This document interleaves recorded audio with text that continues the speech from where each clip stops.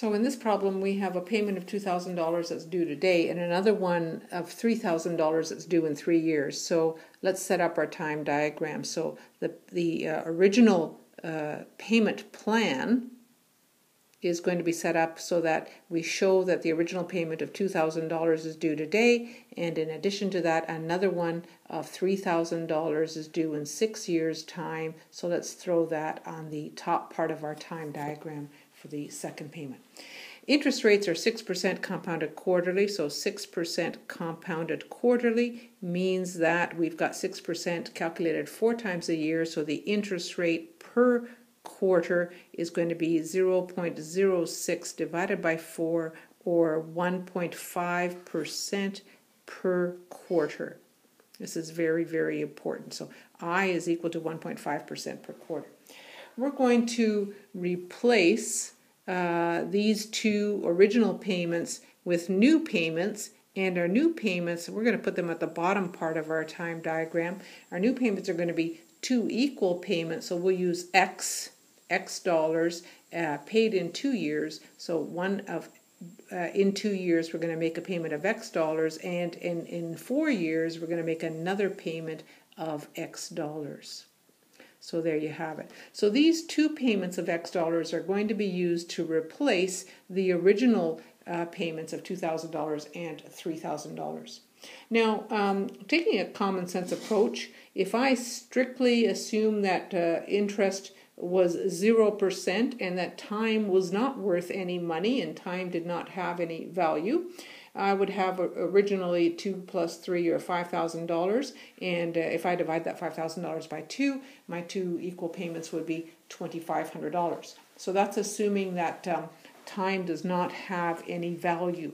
But time does have any val- some value. In fact, we're assigning it a value of 6% compounded quarterly.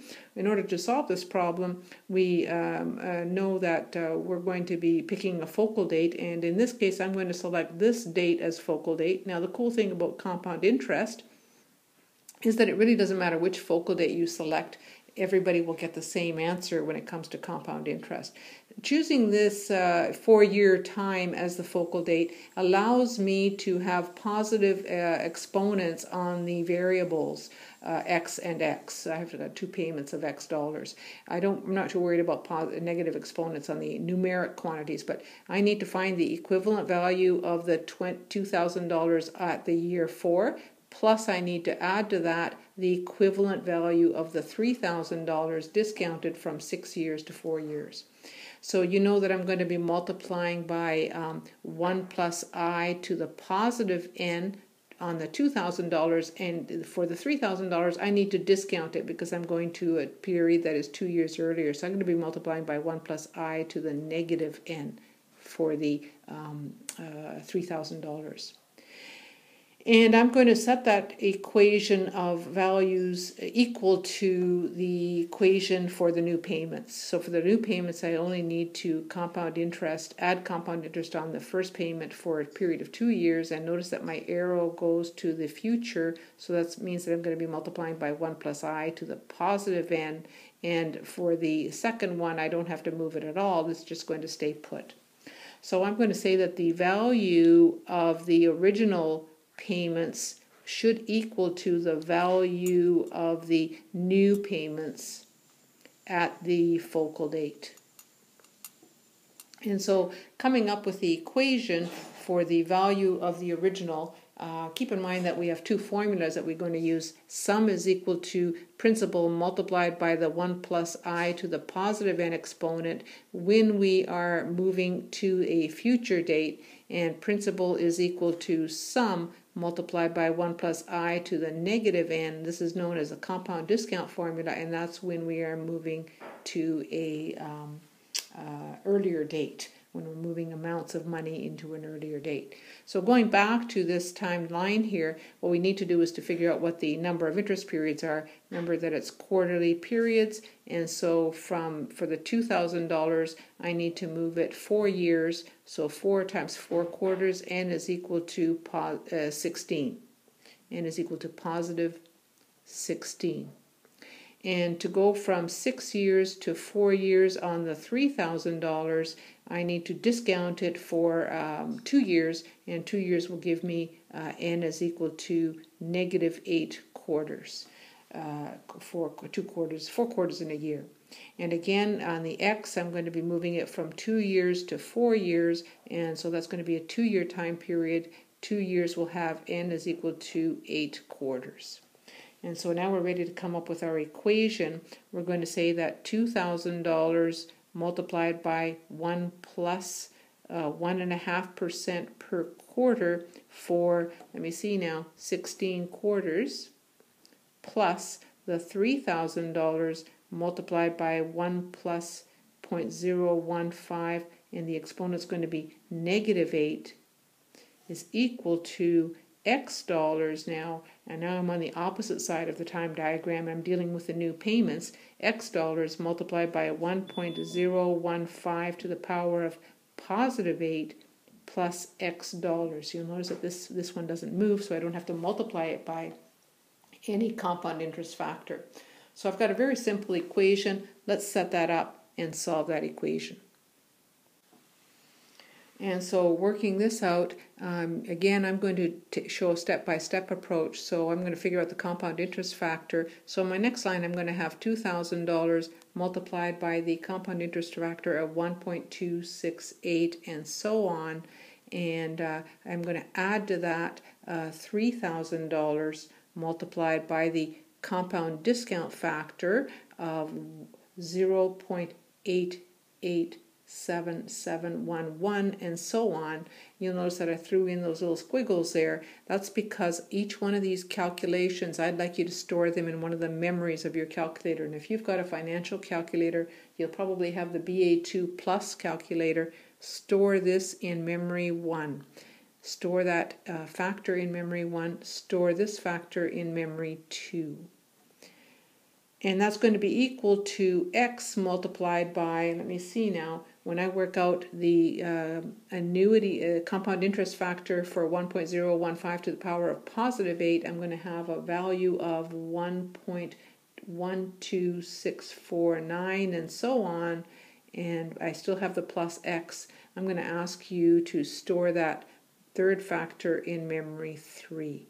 Memory 3. So you've got three different values in the memories. Um, taking a look at the value in memory 1, this is telling us something. This is telling us that the $2,000 will be inflated by 26%, so that the uh, $2,000 will have a value of 126% of $2,000 at the focal date. This tells you that the $3,000 will only be worth 88% of the $3,000 two years in advance of its due date. So now I think what we can do is solve these numbers, uh, solve each of these numbers. 2000 multiplied by this number that's in memory 1. This will give us a value of 2537 and 97 cents. So that $2,000 is worth uh, 2537 at year, let's see now, at our focal date, which is year 4. So at year 4, that $2,000 will now be worth 2537.97. Plus, I'm going to add to that the second number of $3,000, and this will be a discounted amount 2663 and 0.13 and so on cents.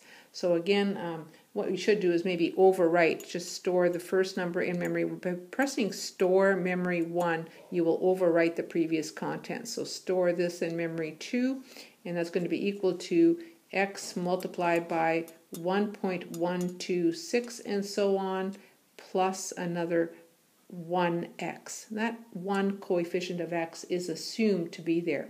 So really we don't have two x's, we have a little bit more than two x's on the right hand side of the equation. We have 1.12 x's plus another 1x. So what you should do is recall memory 3 and add 1 to the contents of memory 3 so that we have an x multiplied by 2.126 and so on. So now you should put this number in memory 3. On the left hand side, you've got $2,500 plus the $2,600. That adds up to 5201 and 104 cents. What I'm going to ask you to do is to store this in memory 1 again. So overwrite memory one. We don't need those earlier numbers anymore. So 5,201 cents is the equivalent value of the two debts, the two original payments, and we're solving for x here. So the way to solve for x is we're going to divide the left side and the right side by 2.126 and so on. Remember that 2.126 is all in memory 3, so we're going to divide by 2.126 and everything else that goes along with that. So in other words, uh, recall 1 divided by recall 3. Remember that that's in memory 3. You will get a value for x. x works out to be $2,445.86. Now you can round that off to the nearest penny. So you'll make two equal payments of um, of 24.45 and 86 cents at the end of year 2 and year 4.